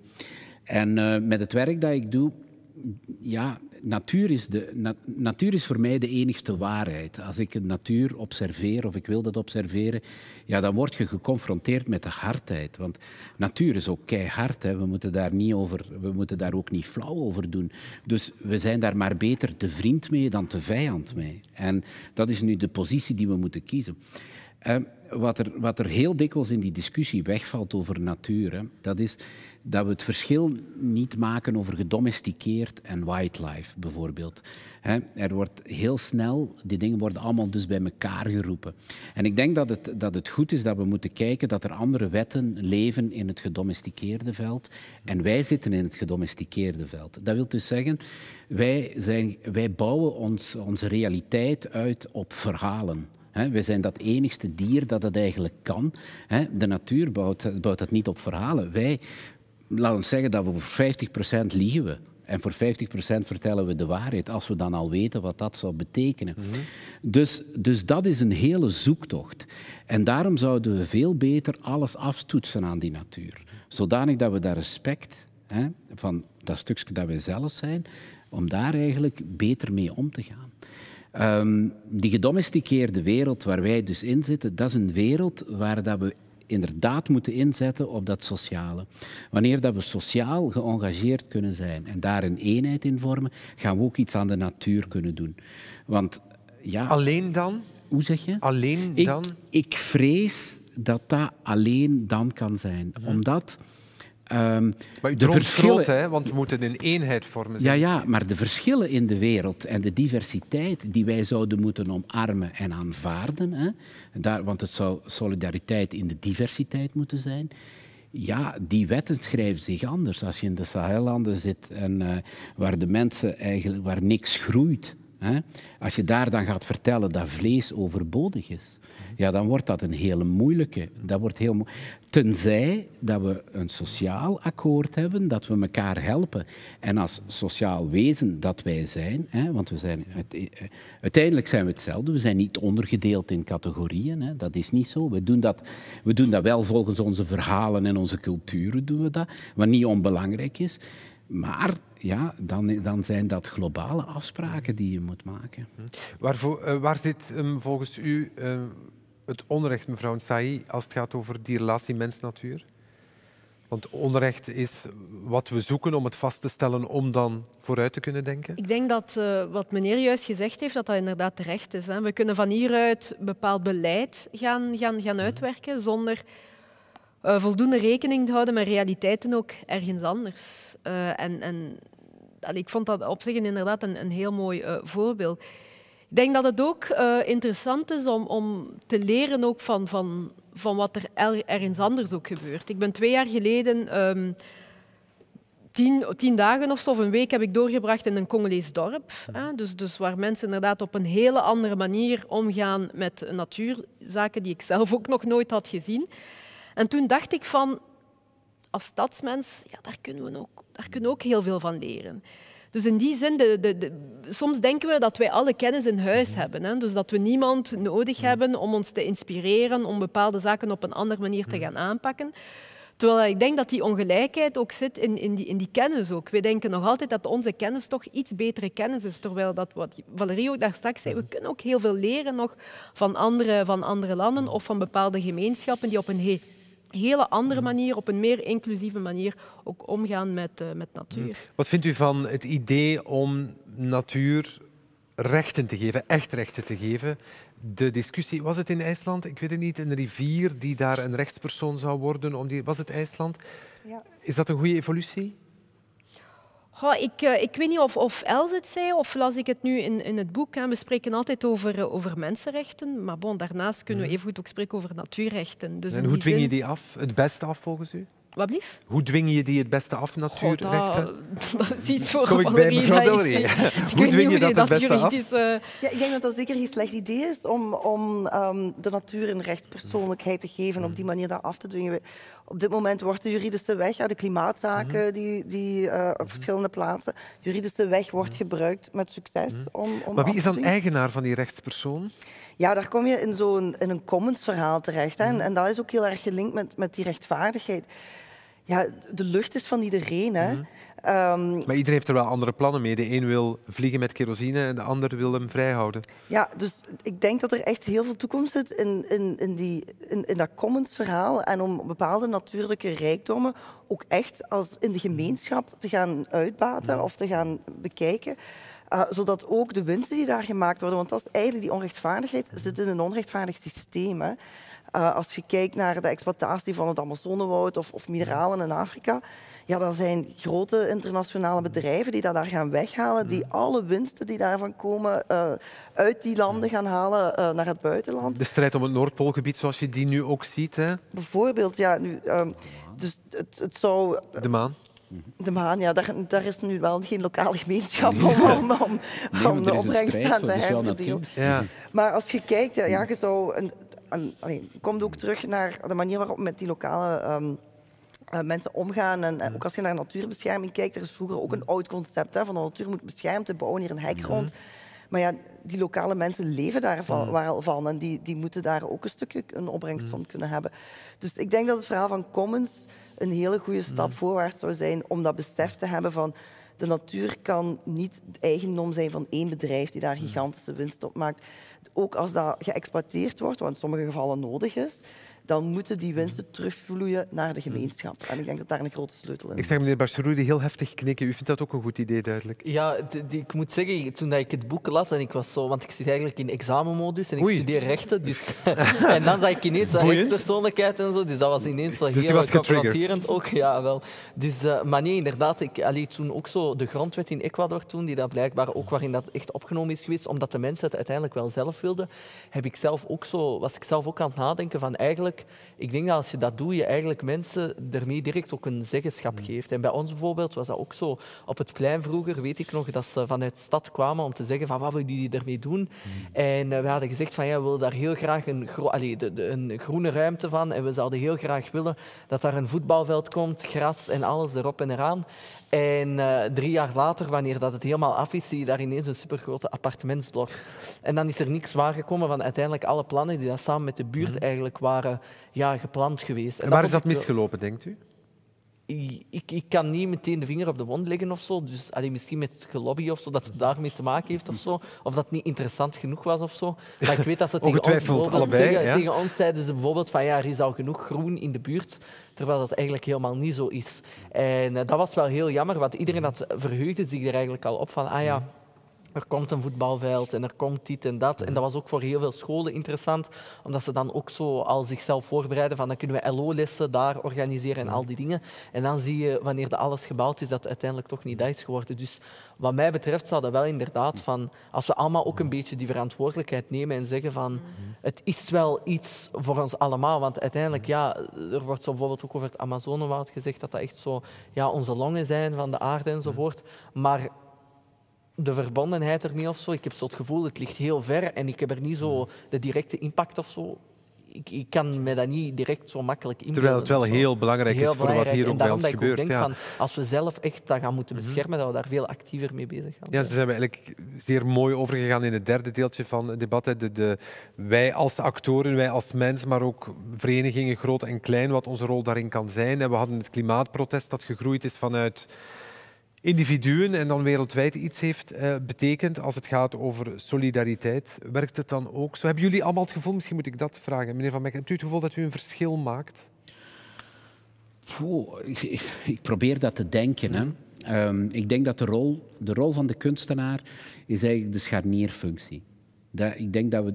Ik heb dat ook letterlijk gedaan met Tussen? La, ja, met La Biomista te bouwen zit ik, zit ik aan de rand van de stad en aan het Nationaal Park. Dat is een overgangszone. En die zone die dient eigenlijk tot communitywerk. Hè. Men wil dat dan zeggen, ja, dat is toerisme. Dat zeg ik, dat is niet waar. Dat is communitywerk. En dat communitywerk, dat nodigt mensen uit om een onderdeel te zijn voor een bepaalde periode van de community. En ik vind, eh, eh, ik vind dat dat een verantwoordelijkheid is die je neemt als kunstenaar. Omdat is een beetje de, de, het, het ethisch debat wat er gevoerd moet worden. Je duwt eigenlijk tegen de grenzen van de maatschappij aan. Waardoor dat de maatschappij reageert of niet reageert. Eh, dat, is eigen, dat is eigen aan kunst. Hè. Maar door te duwen maak je het speelveld groter. Wel, do- door te duwen maak je het speelveld groter. En ofwel ontstaat er een barst en kun je binnendringen. Het is bijna gelijk de Space Shuttle die naar de maan gaat. Hè. De juiste hoek. En dan bevrucht je eigenlijk de maatschappij. Als je de juiste hoek niet vindt, dan drukt de maatschappij u terug. hè. Of het is te vroeg, of het is, eh, of het is te laat. En ik denk dat, dat je daar een speler bent. En dat je daar eigenlijk een verantwoordelijkheid hebt om, ook, om, dat, om dat te doen. Maar daar heb je geduld voor nodig, lijkt mij. niet? Dat is van lange duur. Dat, is, dat gaat over inhoudelijkheid, dat gaat over opbouwen, dat gaat over voortschrijdende kennis die je altijd maar opdoet. Want ik heb met mijn werk bijvoorbeeld, hè, ik kruis kippen over heel de wereld, hè, waar, dat zijn gedomesticeerde eh, kippen, waar dat je eigenlijk zegt af en toe moet de grens gebroken worden om evolutie te kunnen maken, want anders treedt er inteelt eh, en, en geen immuniteit en vooral geen diversiteit. Je loopt in de val van de monocultuur. Dus dat moet je vermijden. En ik denk dat, dat daar een inzicht geven, bijvoorbeeld via, via dat soort ehm, verfijndheid, dat duurt jaar en dag. Hè? Want in het begin zijt je de kippenkunstenaar die, die, die met kippen bezig is. Maar men moet ontdekken dat het veel verder gaat. Dat het gaat over globalisatie, dat het gaat over multiculturalisme. En bent u blij met hoe er naar u en wat u daar doet wordt gekeken nu? Is dat het einddoel? Bent u er al? Nee, dat, je kunt nooit, dat kun je nooit beschrijven als een einddoel. Maar ik wel, waar ik wel blij mee ben, moet ik zeggen, is het aantal mensen dat binnentreedt hè, en dat mee ontdekt. En met mij ook mee een bepaalde stappen wilt nemen. Als ik zie dat we het laatste gedeelte, Protected Paradise, hebben kunnen ontwikkelen als een, als een overgang naar het natuurgebied, in plaats van vol beton te storten met uh, uh, uh, fabrieken, of, ja, dan ben ik daar zeer gelukkig mee en ben ik ook een beetje trots. En het is in die strook waar ik La Museum gemaakt heb om jongeren tussen de 16 en de 26, dat doe ik samen met de VUB, met Caroline Pauwels, om te gaan nadenken over, over ondenkbare dingen die je in school dus niet bedenkt. Met het uitzicht op die natuur. En, en als ik zie dat dat eigenlijk continu bevolkt is, hè, met vele actoren die mee willen nadenken. En dan ziet u daar toch iets gebeuren? Ja, dan vind ik dat, dan vind ik dat, dan doet mij voldoening. Dat geeft mij voldoening. Ja. Mevrouw Nsai, de overwinningen, als je het zo mag noemen, naar rechtvaardiger, naar gelijkwaardiger, die zitten in heel kleine dingen, in heel grote dingen. Wat is de beste schaal? Goh, ik denk dat uh, als je een geëngageerd persoon bent, dat je die twee zaken ook wel nodig hebt. Hè. Je probeert in jouw directe omgeving een verschil te maken, hoe klein het ook, uh, het ook is. Lukt u dat, denkt u? Uh, goh, ik heb negen jaar gewerkt als beleidsmedewerker rond Congo. En persoonlijk vind ik dat ik geprobeerd heb, uiteraard samen met andere mensen, om daar zaken rond te doen. Ook nu in het debat rond decolonisatie. Ik zie die kleine stapjes ook wel. Maar wat mij nog vooral interesseert, zijn die, zijn die, zijn die structurele veranderingen. En, ik denk en dan kom je in grote organisaties terecht. Ja, dan kom je in grote organisaties terecht, maar dan kom je ook in een context waar je ook heel veel geduld moet hebben. Hm. Heel veel vrienden van mij, die bijvoorbeeld vorig jaar op de betoging waren, zijn zeer ongeduldig. Ze zeggen van een jaar later, er is, niet, er is niets veranderd. Nee, er is misschien in, in, het, in het leven van, van mensen van kleur niet meteen iets veranderd. Hm. Maar we zitten nu wel midden in een belangrijk proces. Er is een bewustwordingsproces. Uh, je ziet dat er hier en daar wel initiatieven ook worden genomen op niveau van het beleid. Minister Somers is gekomen met een handleiding rond uh, de standbeelden. Uh, minister Krevits heeft iets gelanceerd rond en racismebestrijding op de arbeidsmarkt. Wat ik vooral heb geleerd is dat um, protest is nodig Um, protestwerk ook, denk ik. Uh, het, is, het, is, voor het beleid, voor de politieke mhm. wereld, hoe je het draait of keert. Politici zijn natuurlijk ook heel sterk bezig met verkiezingen. Uh, dus zij worden ook heel vaak gedreven door uh, bepaalde ja, electorale berekeningen en zo verder. En ik denk dat de politiek, het beleid in het algemeen, mm -hmm. ook uh, een zekere druk nodig heeft vanuit de samenleving. Dus in die zin mhm. kan protest daarin een, een rol in spelen. Uh, maar een ander belangrijk punt is ook uh, beleidswerk. En dat is hetgene dat ik toch wel geleerd heb vanuit mijn ervaring als beleidsmedewerker, is dat al die verschillende emancipatiegroepen, of ze nu werken rond natuur of rond racisme of rond andere thema's, dat het wel groepen zijn die zich strategisch moeten organiseren en die ook keihard moeten inzetten, eerst en vooral op het informeren van de samenleving, hè, zodat mensen veel beter geïnformeerd zijn, op het mobiliseren van mensen, maar ook op het beïnvloeden van het beleid. Want uiteindelijk, als we echt naar die structurele veranderingen willen gaan, dan gaan we het beleid ook gewoon moeten meekrijgen. En dat is vandaag een hele moeilijke zaak. Je ziet dat vanuit de politieke klasse er niet altijd de urgentie wordt gezien, hè, bijvoorbeeld rond klimaat, rond, rond racisme. Dat zijn allemaal thema's die misschien electoraal niet altijd heel erg interessant zijn. Maar als die maatschappelijke druk kan verhoogd worden, dan, dan voelen politici ook wel dat daar wel iets moet, moet gebeuren. Mevrouw Delray, u komt uit de politiek hè, en u zit nu bij Greenpeace. U bent u hebt de omgekeerde beweging gemaakt. Hè. Vaak gaat het andersom, maar u zei politiek waar je dan beleidsmatig iets kan doen. Nee, ik ga druk, druk uitoefenen op de politiek. Is dat ook uw ervaring dat dat is wat u kan doen? Ja, ik uh, had op dat moment echt het gevoel dat, dat verandering van onderuit voor een mhm. stukje moet komen. En, en ik, denk, ik, denk, dat um, verandering gebeurt niet zonder maatschappelijk draagvlak, mhm. of heel weinig zonder ma maatschappelijk mhm. draagvlak. Dus daar zit echt wel de kracht van, van iedereen in. Um, Wat vindt u nu het meest prettige, of waar hebt u het meest voldoening uit gehaald tot nu toe uit dat politieke of dat toch dat maatschappelijke druk zetten? Goh, de twee dingen zijn heel bestand natuurlijk. Hè. Als, je, als je beleidsmaker bent, dan, dan kun je dat opvangen en dan kun je ermee aan de slag gaan. En Terwijl het is ook wel heel fijn om, om te zien, om zoiets in beweging te zetten en te zien hoe een beweging groeit en daarmee aan de slag te En hoe gaan. groter, hoe beter de beweging? Ja, tuurlijk. Hè. En, maar ik denk wat er vandaag aan het gebeuren is en wat heel belangrijk is, is ook wat, wat, wat hier de kern eh, in, in het debat is, is het connecteren van verschillende issues.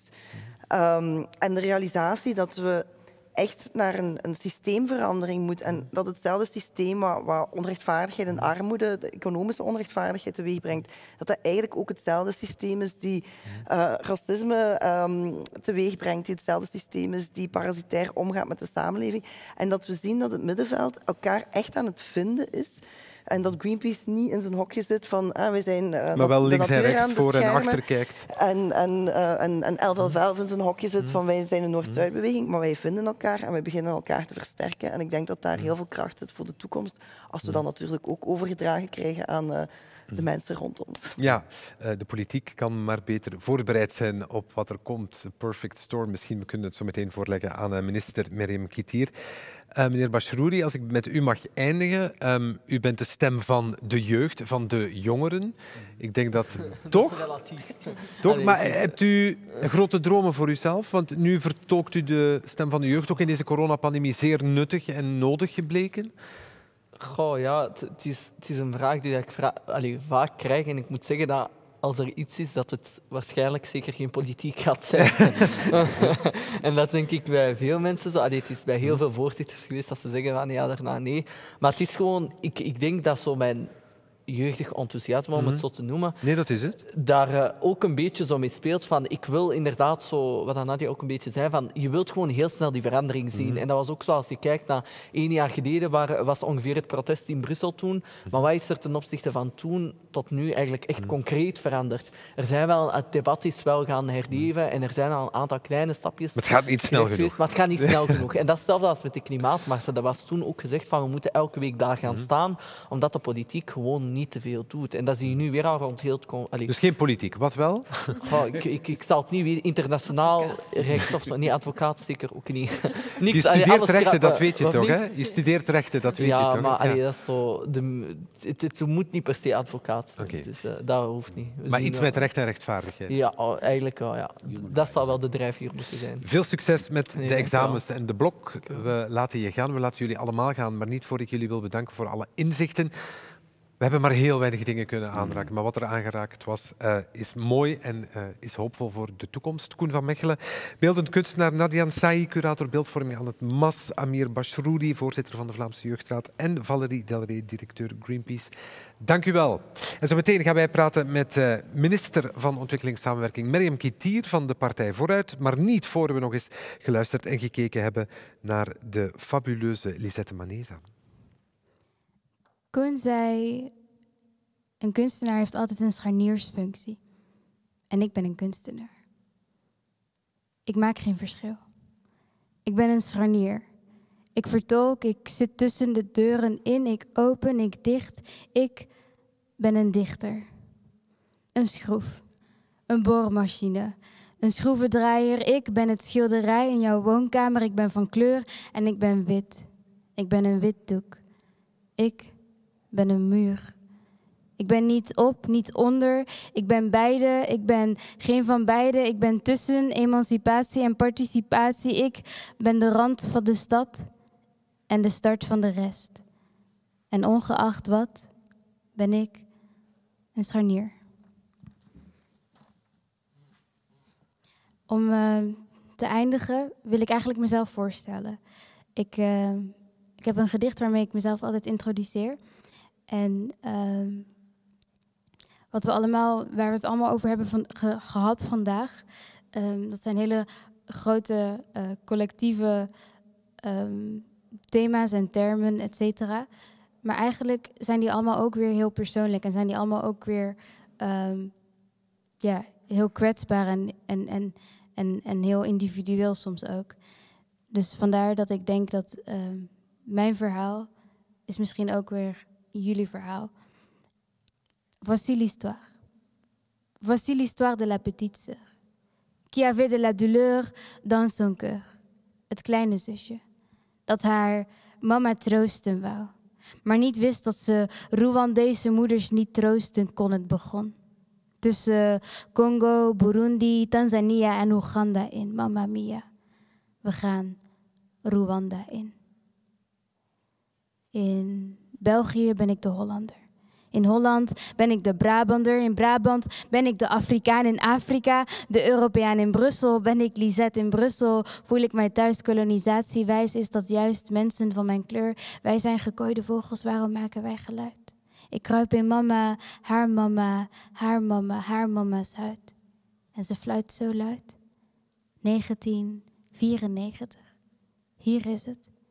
Wie de genocide niet kent, die leest erover. Die luistert naar de verhalen van wie grootouders Joden. Hier tellen we de doden van duizend jaar geleden. Thuis is het. Wie de genocide kent, die spreekt er niet over. Wie deze niet kent, die weet er niets over. Mijn Tweede Wereldoorlog is nog jonger dan mijn zus. En ze roept Ute, papa, Ute. Maar in dit liedje vinden ze haar wel terug. Nee, kijk, een oorlog die je zelf niet hebt meegemaakt is in het huis een kamer waarin je niet binnen geraakt. En we zitten in de woonkamer. En mama huilt in het Afrikaans en stil en bescheiden en stil en bescheiden laat ze haar tranen vallen en tussen haar tranen door begint ze te tellen. Ze heeft zoveel mensen verloren dat ze het niet wilt weten. Mais c'est l'histoire de la petite sœur. Dit is het verhaal van de Rwandese moeder die haar dochter troosten wou, maar niet wist dat zwarte meisjes die wenen in witte talen niet te troosten zijn. Mijn oma, mijn oma, mijn oma was 15 en werd uitgehuwelijkt. Ik, ik werd 15 en ik, ik werd depressief om niets. Ik had het leven waar zij voor hadden gestreden, het leven waar zij voor hadden gebeden, het leven waar zij aan waren overleden, niet lief. Ik was de reden waarom zij waren gevlucht en ik. Ik wilde terug. Ik wilde terug. Dankjewel.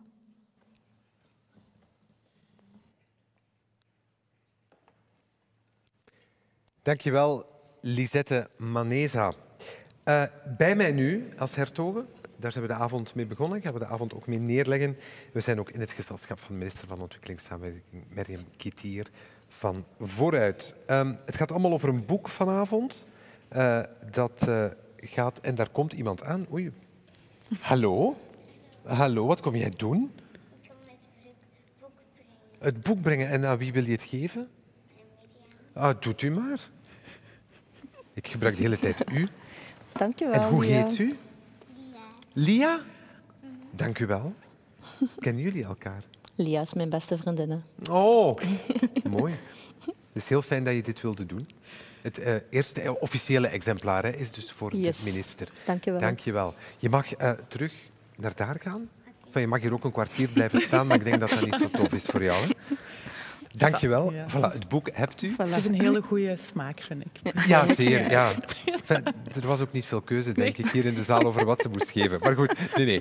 Nu ondergraaf ik alles waar we hier voor zijn vanavond. En dat kan zeker ook de bedoeling niet zijn. Ehm, mevrouw Hertog, wat hebt u... Enfin, we hebben heel veel aangeraakt in het Ja. gesprek. Maar dat moet je altijd heel kort doen. En dan kan je nog uren napraten. Maar wat neemt u mee? Of wat, wat zijn zo de dingen waarvan u zegt, daar ga ik toch nog eens over nadenken voor ik in slaap val vanavond? Wel wat ik meeneem vooral. Ik heb vijf dingen, ik ga het heel kort doen. dat de crisis dus letterlijk gezegd ons dichter bijeen kan brengen. Dus dat er meer solidariteit kan zijn over leeftijden heen, maar ook over de grenzen. Dat is een paar keer bovengekomen. We ervaren nu ook hier meer wat is om soms te wachten. Ik denk dat Koen van Mechelen het zei. Het tweede wat ik genoteerd heb, er is al beweging, heel veel. Dus laat ons ook geduld hebben. Laat ons kijken naar waar de verandering zit. Derde, die kruisbestuiving die er vanavond was tussen ideeën, daar heb ik heel veel uit geleerd. Dus het heeft me alleen maar meer bevestigd dat we dit debat veel meer moeten voeren. Het vierde, wat eh, Amir ook zei, betrek burgers. Bijvoorbeeld het verhaal van het pleintje. En ze zullen ook vanuit algemeen belang denken, maar het is dan ook wel aan de politiek om er effectief iets mee te doen. En het allerlaatste is dat kunst, vandaag woordkunst, soms nog beter formuleert waar het over gaat dan elf stemmen in een boek van 140 pagina's. Ja, dat is heel mooi, maar het is ook zeer waardevol wat Ja, ja, hierin staat. hè. Maar wat Lisette. Manesa heeft gedaan vanavond Ja. was zeer mooi. Dank je wel trouwens nog eens. Ehm, mevrouw Kitier, eh, u ehm, bent nu minister van Ontwikkelingssamenwerking een half jaar. Ja. Hoe bevalt het? Super. Ehm, het is natuurlijk wel een beetje speciaal om in de coronatijden, maar dat is voor iedereen. Mhm. Eh, maar het is zoals Els zegt, hè, elke crisis zorgt ervoor voor een, een uitdaging en daagt u ook een beetje uit om op een andere manier te kijken. Maar ik, ehm, ik vind het een super boeiende departement. Ik ben ook heel blij dat ik dit mag doen, Mhm. omdat het eh, voor mensen is en over mensen gaat. En volgens mij is het de eerste keer dat eh, ontwikkelingssamenwerking bij een minister zit en niet bij een staatssecretaris. Klopt. Wat zegt dat over de bevoegdheid? Ja, het feit dat je dat, dan tilt je dat ook wel op. hè. En eh, het, eh, het boek zegt, we gaan moeten van liefdadigheid naar rechtvaardigheid gaan. Ehm, ik ben minister van Ontwikkelingssamenwerking, maar het liefst van al zou ik me minister van Internationale Solidariteit willen noemen. Eh, de tijd is te kort, dus ik ga geen energie steken om mijn naam te wijzigen. gaan oren flapperen bij Ed Hertogen. Dit is precies wat ze wil. Ja. Maar, eh, eh, dat is wel de filosofie waar het achter staat. En het feit dat je, dat je minister bent, betekent dat voor deze regering dat het wel heel belangrijk is en dat we het ook op, op- opgetild hebben. Ehm, wat we hier gehoord hebben over ontwikkelingssamenwerking is dat je dat voor een stuk moet decoloniseren, dat het niet voor wat hoort wat is, dat het op gelijke voet is, want dat is het allemaal niet nu. Bent u het daarmee eens? Ik ben het er volledig mee eens. Ehm, ik denk, eh, voor mij is het echt een samenwerking. En ik denk dat de vorige sprekers verschillende voorbeelden hebben aangehaald van wij hebben de waarheid niet in pacht. Ehm, wij hebben onze kennis, zij hebben hun kennis. En als je dat samenbrengt, heb je een mooi product. Ehm, alles wat in het Westen gebeurt, is niet, is niet perfect. Ook wij zijn, hebben mankementen, dingen die beter kunnen. Ehm, maar wat in het zuiden is, is ook interessant. En we kunnen van elkaar leren. En voor mij is het echt wel niet vertrekken van eh, wat willen wij, maar echt een, een samenwerking. Ehm, ik vind ook dat het in het boek heel goed omschreven is. En ik heb eh, op bladzijde 22 iets aangeduid, omdat dat ook wel een beetje heel veel eh, zegt. Hè. Wij- eh, ook hoe wij kijken naar ontwikkelingssamenwerking. Wij kijken heel vaak inderdaad van wij moeten gaan helpen, want zij hebben niks. Ja. En als ik, ik vond het heel interessant, in het boek las ik van nog steeds maken rijke landen gebruik van onderbetaalde arbeid en middelen uit het globale zuiden. En elk jaar gaat het om een bedrag van maar liefst 3 tot 6 miljard dollar. Een onzichtbare transfer van zuid naar noord. Ja, want daar begon u ook mee, mevrouw Hertogen, vanavond. Met, eh, het, is, het is geen dollar voor een dollar. Nee, het is een dollar voor 24 Ja. dollar en in een richting die je niet verwacht. Absoluut. Waar komt die... Ja, hoe komt het dat we daar met z'n allen zo verkeerd naar kijken dan? Ik, het staat ook in het boek, ik denk omdat, en het is ook in het gesprek gezegd, omdat we niet naar die geschiedenis durven kijken. En we durven ook niet breder kijken dan, dan solidariteit zien als liefdadigheid en ontwikkelingssamenwerkingsstroom. Maar er zijn genoeg academici die daar onderzoek naar doen. En, en u verwijst naar één eh, stroom, maar er zijn ook ja, de, de 200 miljard tot 400 miljard aan belastingontwijking ehm, gemist wordt enzovoort. Dus die cijfers zijn er. Ik denk waarom we er niet naar willen kijken, is omdat het een heel ongemakkelijke waarheid is. Het vraagt meer van ons. We moeten ons gedrag, ons beleid echt grondig wijzigen. Terwijl aan ontwikkelingssamenwerking doen voor een klein percentage voelen we ook niet onmiddellijk. Dus het is, eh, ja, is een ongemakkelijkere waarheid. Maar het is wel de enige waarheid die ons op termijn ook allemaal wel vooruit gaat helpen. Is het ook de waarheid, mevrouw Kittier? Want dat is ook altijd zo moeilijk. Hè? Wie heeft er gelijk? Bestaat er zoiets als de waarheid? Ja, dat, is, dat wou ik net zeggen. Wat is de waarheid? En met, eh, hangt er ook een beetje vanaf met wie dat je spreekt. Maar wa- wat voor mij wel een waarheid is, is dat iedereen recht heeft op eh, basisdienstverlening. en ehm, dat zijn dingen die heel, voor ons heel evident lijken, en voor veel mensen in de wereld niet evident lijken. Maar dat start ook allemaal met kennis. We hebben heel vaak, wij, wij zitten hier vandaag zelf ook. eh, voor mij is het heel belangrijk om mensen zelfredzaam te maken. En als je mensen zelfredzaam wil maken, moet je ze natuurlijk ook de kennis geven. En ik vond het heel interessant wat dat Nadja zei. Kennis geven is niet gewoon ons model opleggen erachter, maar ook wel kijken van oké, welke ervaring hebben jullie? Vindt u dat de grootste uitdaging als minister van Ontwikkelingssamenwerking? Dat je niet in geld denkt, maar in ervaringen, in ehm, kennisoverdracht? Ik denk dat het budget is natuurlijk belangrijk, hè, want zonder budget Zonder geld kan je eh, ja, doe, ja. je, doe je uiteraard niks. Maar ik denk dat er gebeurt ontzettend veel. En ik denk dat het belangrijk is dat we, dat, dat we die krachten allemaal een beetje samenbundelen met elkaar. En het heeft geen zin dat we allemaal langs, apart van elkaar werken. Ehm, wat wij doen op federaal niveau, maar je hebt ook een, een, breed middenveld, je hebt ook eh, de vierde pijlers. Ik ben nu een ronde het doen met alle schepenen van ontwikkelingssamenwerking, om ook eens gewoon te horen wat dat jullie allemaal op digitaal, hè, ja, dat, kan er veel meer. Ja. dat kan er inderdaad veel meer. Maar ik denk dat dat wel belangrijk is. En ehm, je voelt, ehm, ik denk dat het tweeledig is. Aan de ene kant is hoe kun je samenwerken? Hoe zorg je ervoor dat je mensen versterkt en zelfredzaam maakt? Maar aan de andere kant, we werken wel met belastingsgeld. Ehm, ik heb ook een stuk verantwoording af te leggen. En ik zeg altijd, mensen willen solidair zijn. Mhm. Maar je moet wel uitleggen waarom dat we solidair zijn en waarvoor dat we solidair Mhm. zijn. En dat is wel een verhaal van waar ga je naartoe en op welke manier wil je het, wil je het bereiken. Dus beter vertellen wat je doet, waarom je het doet, in de hoop om dan daarna misschien nog wat meer te krijgen, omdat het draagvlak, om dat vreselijke woord aan te gebruiken, toch weer wat groter is. Maar vooral ook waarom dat we het doen. Als ik het voorbeeld van de vaccins nu mag geven, we worden er allemaal beter van. En, eh, en de vaccins, alleen, als er één iets is dat on- deze crisis ons geleerd heeft, is Je bedoelt de patenten tijdelijk opheffen, hè? Ja, maar ook, ook onze veiligheid. Ik, eh, ik, ik, ik heb nu... Wij hebben nu allemaal zelf ervaren wat het betekent als u iets overkomt waar je zelf niet om gevraagd hebt. Ik denk anderhalf jaar ongeveer dat we in een lockdown leven, niet, niet onze eigen vrijheid meer kunnen doen. Er is eh, heel snel een vaccin gekomen, die verdeling van die vaccins zijn er. En we laten de solidariteit los, want de verdeling en het vaccinatie eh, gebeurt ongelijk. En de armere landen zijn, eh, ja, ik denk dat we ondertussen op 2% zitten, dat de armere landen gevaccineerd zijn. En de rijkere landen, ja, die gaan in een stroomversnelling. En daar kunt u je de vraag stellen, waarom maken die solidariteit los? We kunnen zeggen van oké, het is ons probleem niet meer en we gaan binnen Europa reizen. Maar het virus kent geen grenzen. En kijk wat er in India gebeurd is, dat is het perfecte voorbeeld. Als je het ene keer loslaat, je hebt mutaties, je hebt al verschillende mutaties. En we zijn toch allemaal eh, met elkaar verbonden. En dat is voor mij gewoon heel belangrijk. We zijn met elkaar verbonden, we moeten het aanpakken. Je ogen sluiten heeft geen zin, want doet je het wel, dan word je daar binnen, word je daar, ja, binnen dit en een paar jaar toch mee geconfronteerd. Ehm, we hebben het over klimaat gehad. Ehm, enfin, het gaat ook in het boek over rechtvaardige mobiliteit. ehm, nieuwe coalities voor komende generaties. Maar ik wil er toch nog één iets uithalen wat wij nog niet aangeraakt hebben. Vrouwen zijn het antwoord. Je zou die glimlach moeten zien van mevrouw Ketier. Zijn vrouwen het antwoord? Want hier wordt het geponeerd. Het is zelfs geen vraag. Vrouwen zijn het antwoord. Ik ben het ermee eens. Waarom? Ik ben het ermee eens omdat, ehm, omdat vrouwen een kracht hebben die vaak nog niet erkend worden. En dat eh, in elke crisis die je meemaakt, je vaak ziet dat de vrouw recht staat en in de eerste plaats in de omgeving, voor de omgeving zorgt in plaats van voor zichzelf. En er zijn zoveel voorbeelden waarin dat je ziet dat als je de vrouwen versterkt, dat de gemeenschap er rondom ook versterkt. En ik ben blij met de evolutie die we maken, dat steeds meer vrouwen recht staan, wereldwijd.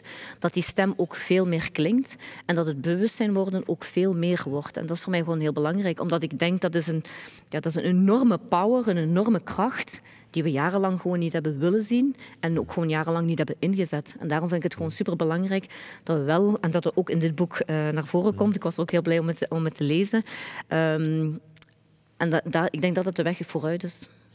Ik hoor mannen zuchten tot hier. Moeten ze niet doen.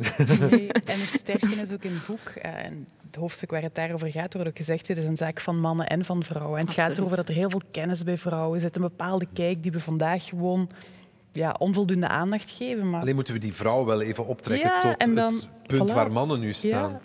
En het is niet, de een is niet veel beter dan het ander. Het is gewoon, we gaan het samen moeten waarmaken. Maar je moet wel erkennen dat de vrouw vandaag nog minder... Vrouwenrechten zijn mensenrechten Ja, voilà. en equal rights ook natuurlijk. U hebt nog ehm, een jaar of drie, als deze regering het volhoudt, waar we voorlopig nog altijd van uitgaan natuurlijk, mevrouw Ketier. Hebt u doelen gesteld voor zichzelf? Ja, ik heb eh, twee eh, belangrijke doelen vooropgesteld. Ehm, we gaan heel veel doen, maar als ik er twee eh, hoofditems mag uithalen, is één, eh, die sociale bescherming is heel belangrijk voor mij.